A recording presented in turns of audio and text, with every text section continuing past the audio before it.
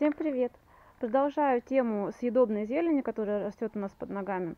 Набрала такой большой пучок э, мокрица, либо звездчатка малая, она называется.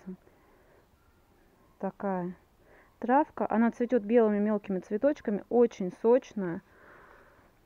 Здесь вот она у меня. Пока еще цветочков нет, но все ее знают. Она растет там, где тень и влажно.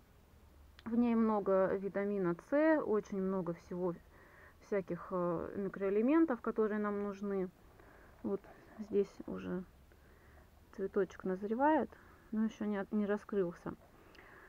Мне муж пока не скосил, я вот собираю. Здесь я прошу не скашивать, а вокруг цветов у меня много ее наросло. Он тут скоро косить будет. Вот здесь хочу все собрать. Вот тут мокрица, здесь.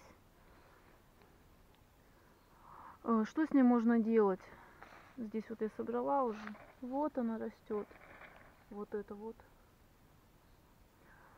А, можно ее добавлять в салаты, уже в готовые супы нашинковать и в горячие просто добавить.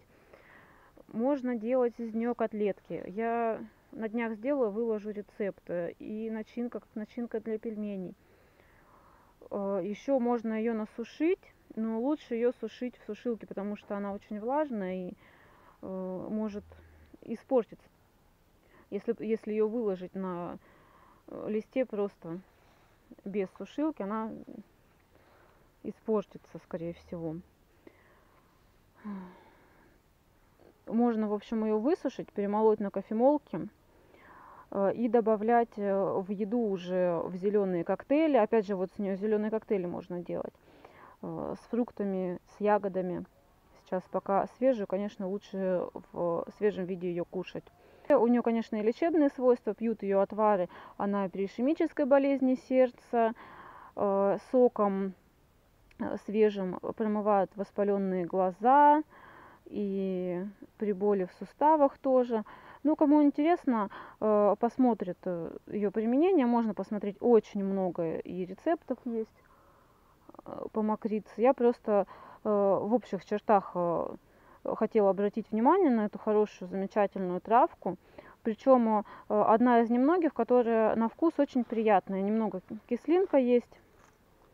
Ням, ням, ням, ням, ням. Вкусно? Ой. Сладко.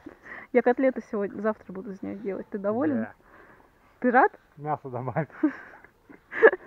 Нету мяса где взять. Коров пошли доить. Ты меня сбил. В общем, в общем, обратите внимание на эту замечательную травку. Кушайте, пока есть свежее. Заготавливайте на зиму можно заготовить, я уже говорила, нет, вот на кофемолке перемолоть и смешать со сливочным маслом и мазать на хлеб, кушать. Также э, я про крапиву снимала видео, забыла сказать, что э, крапиву тоже можно так делать, то есть насушить, на, э, на кофемолке перемолоть с, со сливочным маслом сделать и, и мазать на хлеб. Очень хорошо крапива, кстати, помогает от анемии. Вот, вместо того, чтобы пить отвар, можно кушать каждый день бутербродики с таким маслом. Все. Всем спасибо за просмотр. Всем пока.